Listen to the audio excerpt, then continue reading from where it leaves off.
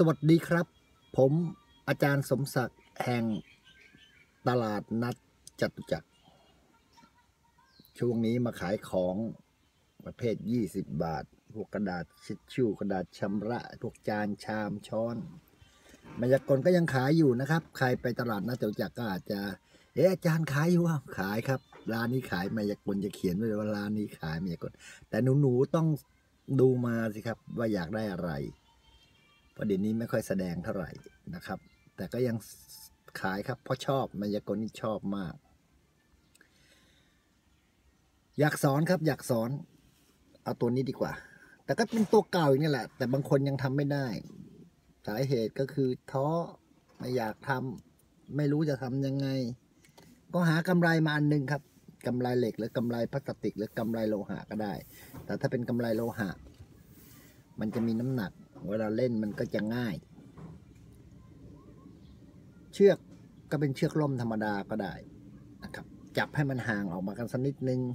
แล้วก็เอาห่วงเนี่ยหรือกำไรตัวเนี้ยใส่เข้าไป โยน เวลาโยนนะฮะโยนเข้าไปเนี่ย โยนเข้าไปในเชือกสองเส้นเห็นไหมครับ อยู่ช่วงระหว่างเชือกสองเส้น แล้วพลิกแล้วโยนเข้าไป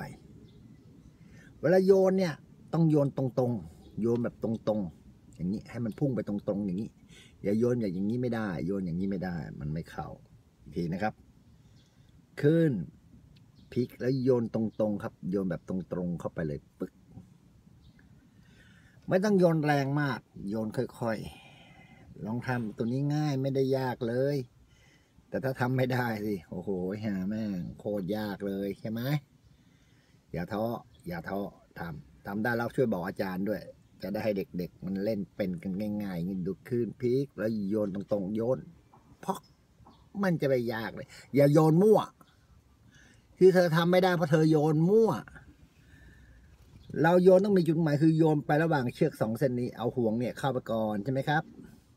พลิกอย่างนี้ใช่ไหมครับ แล้วโยนเข้าไปในเชือกสองเส้นเห็นไหมครับ โยนตรงๆเข้าไปจึ๊ก